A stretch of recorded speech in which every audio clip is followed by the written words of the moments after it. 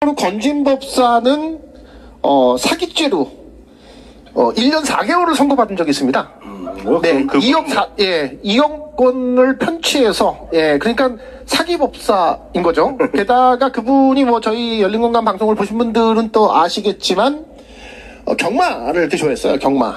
예, 그 과천에서 경마에 되게 심취했던 분인데, 돈을 많이 잃었답니다. 그래서 사채를 땡겼었는데, 사채업자들한테 쫓겨다녔다고 합니다. 그러면 어, 제가 요새 그, 김건희와 윤석열, 그리고 건진법사 및 여러 무속인들, 뭐 역술인들 이런 사람들을 취재하고 있다 보니까 제 주변에도 그런 분들이 계세요.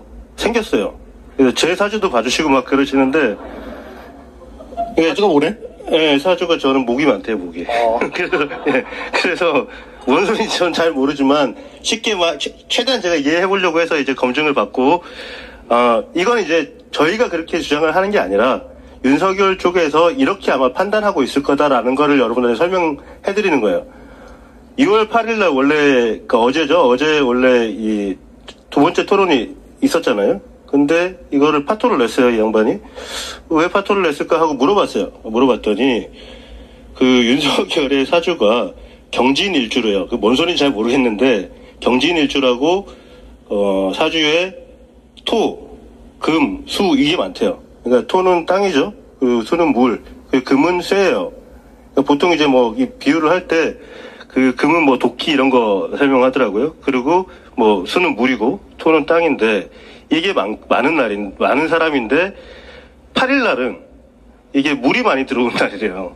물이 많이 들어오니까 자기 물도 있고 땅도 있고 나무를 벨 도끼도 갖고 있는데 물이 들어와 버리면은 이게 이 뭐라고 해야죠? 강물에다가 나무를 심는 꼴.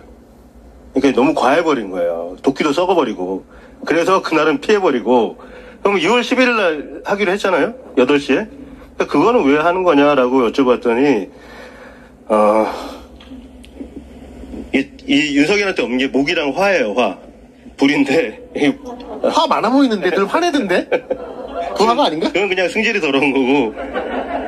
근데 11일이 을미일이래요. 을미일은 뭐 목이 많이 이렇게 목의 기운이 센 날이고 그러니까 이제 윤석열한테는 필요한 거죠.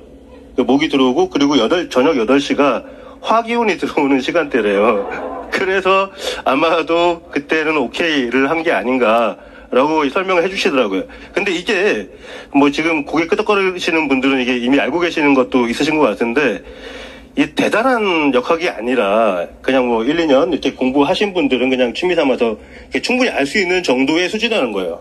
그러니까 문제가 이 사람들이 자기네 딴에는 머리 굴려가지고 좋은 날 받고 막 시간 받고 이 난리를 치는데도 고작 해봐야 그, 그 정도 수준, 건진법사 수준.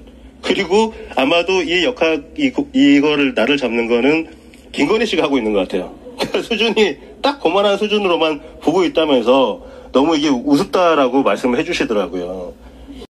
너무 좋아하지 마시고 홍준표 의원의 말씀을 꼭 새겨 들으시기 바랍니다.